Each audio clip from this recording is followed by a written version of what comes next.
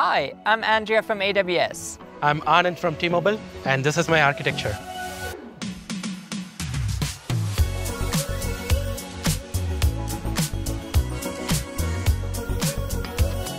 So Anand, we're here to discuss the T-Mobile digital commerce platform. What is that?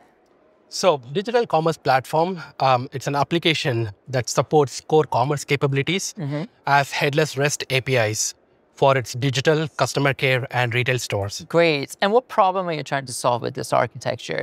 So, the the architecture that we had in the past, where uh, it was available on both regions, um, but it was on active passive mode. I see. So the challenge that we had was the replication of data across regions. It's always challenging and it's very complex in nature.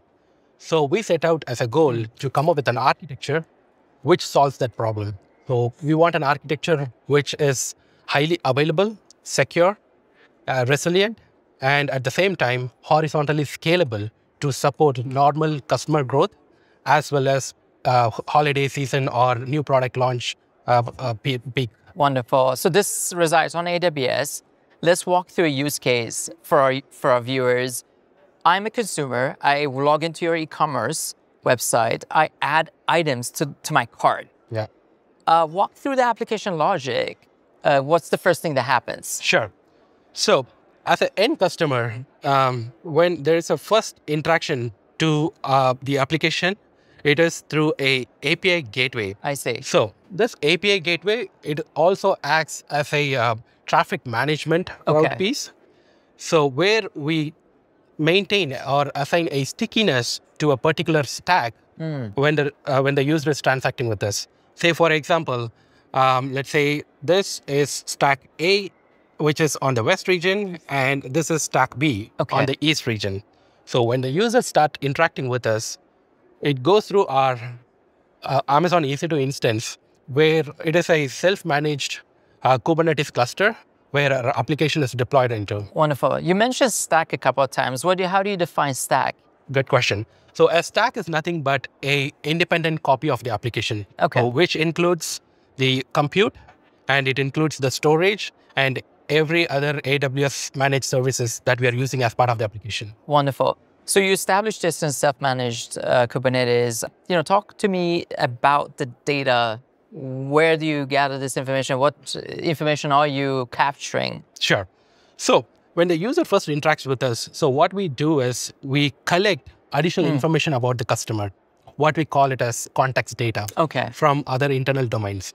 So that data, we load it in our cache, which can be dynamically repopulated every single time when the user interacts with us. And at the same time, the, the co- complete cart transaction in itself, um, it is persisted in a relational database in Amazon RDBs. In RDS. Okay. Um, I see. So I see Kinesis as well, right? Walk me through this logic. So now you have customer information, context, and then transaction information. Yeah. Where does this come in? Sure. So as part of this interaction, whenever there is a change or update in the cart, what we do is we stream that data through Kinesis, Okay. and that data it's consumed by Lambda function, and which writes it to Amazon DynamoDB. Uh, It's a global table which is available on both regions. Fantastic. And how? What's the frequency? How often do you gather this information through Yeah. Kinesis? So this is real time. So as the customer interacts with us at that point in time, we asynchronously do this without impacting the performance of the local stack. I see. And you do this for every customer, We real this for- time into a DynamoDB global table. In the unlikely scenario of service disruption or you need to service something, Yeah, you know, what happens to that cart?